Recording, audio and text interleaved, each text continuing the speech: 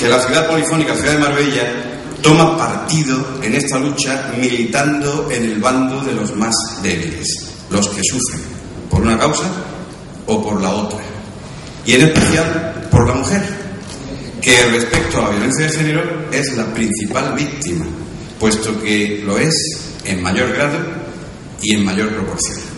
Por eso, donde nuestra participación sea útil la consecución de los objetivos que asociaciones como Nuevo Amanecer y Despertar sin Violencia se propongan, allí estaremos nosotros. Dicho todo esto, lo único que me queda decir es desearles que pasen ustedes una velada muy agradable. Me siento muy, muy afectada por los problemas que puedan tener tanto las mujeres eh, maltratadas como las personas que puedan estar afectadas de esclerosis múltiple. Con una, con una particularidad, que yo quiero dar mi testimonio. Yo fui una mujer maltratada. Fui una niña maltratada hijos y por mi segundo marido también.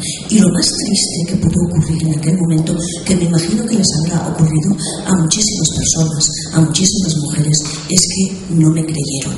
Y quiero decirles que tengan fuerza, que denuncien, que denuncien porque es lo único que se puede hacer, que nos van a creer, porque nos están matando y nadie nos hace caso. Somos una voz en el silencio.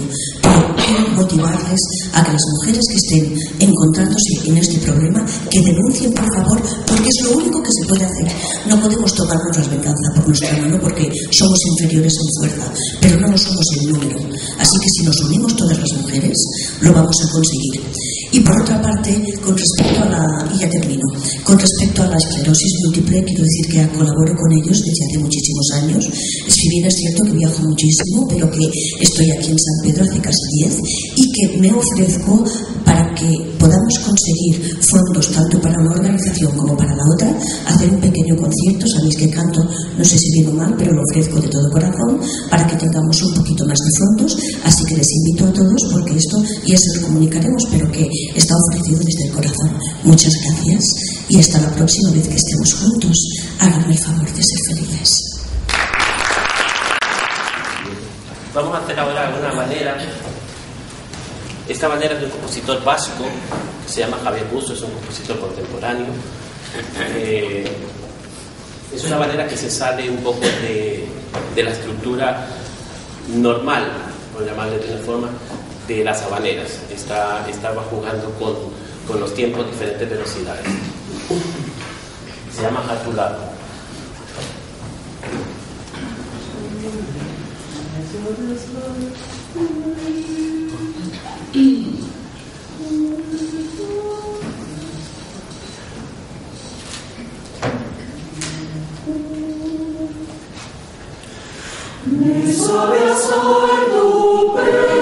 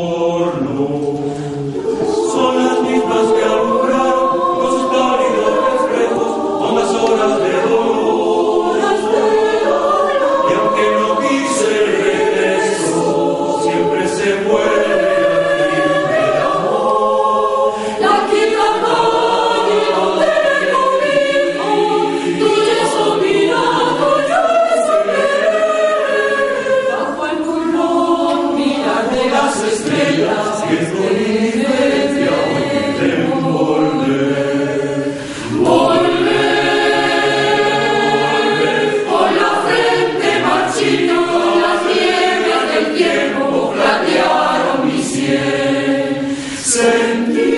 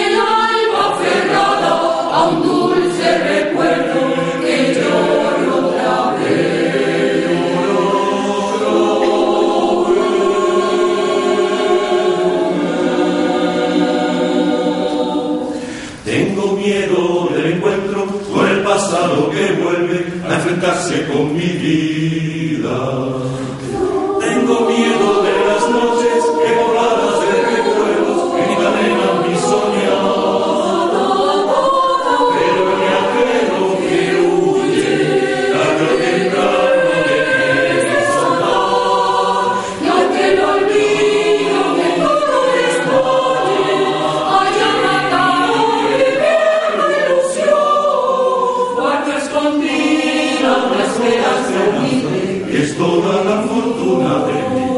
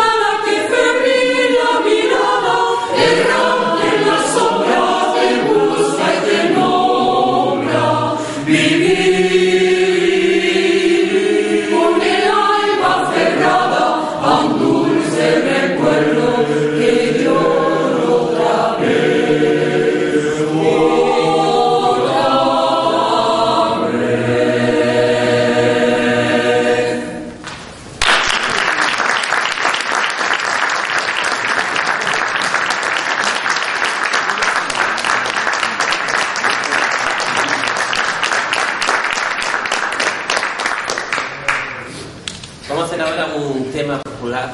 ¡Uh!